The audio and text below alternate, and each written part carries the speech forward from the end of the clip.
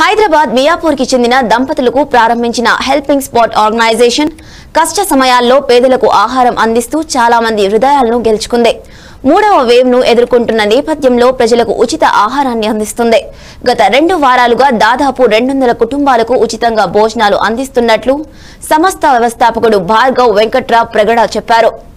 ప్రస్తుతం ఈ బృందం మియాపూర్ చందానగర్ హఫీజ్పేట్ వాణినగర్ అమీనాపూర్ జేపీ నగర్ బాచుపల్లిలో ఆహారాన్ని అందిస్తుంది. ఈ కార్యక్రమంలో భార్గవ్ ఆయన భార్య ఉమా తదితరులు పాల్గొంటున్నారు.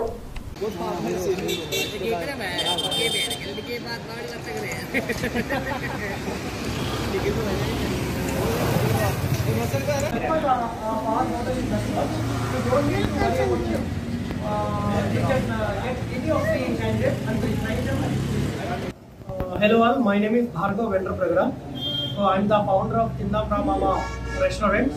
So it is India's first Desi snack restaurant. So you name the snack with respect to Andhra Pradesh and Telangana, you will find it here uh, with a Desi style. So this is the first time uh, in India a restaurant is into full-fledged snacks. So I installed this restaurant just to support my volunteers uh, because I run a campaign called Free Food for COVID Patients, uh, which was a big hit in Hyderabad. We are giving at around 300 uh, meals to COVID patients for free daily from past 12 days. And this was also done before in 2021. We fed around uh, 35,000 plus COVID patients in 64 days. So in pandemic too, and uh, we want to relaunch again. As you know, that pandemic is uh, the third wave is coming, uh, and uh, people are suffering a lot. So I thought to restart again, and I started the campaign. Uh, so it is run by Helping Spot organization.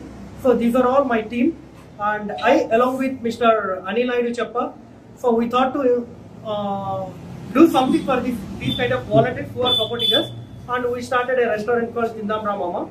And uh, the main uh, theme of the restaurant is uh, nothing but to give a healthy food, like to give a healthy street food in a nominal charge. So that's the main theme of our restaurant.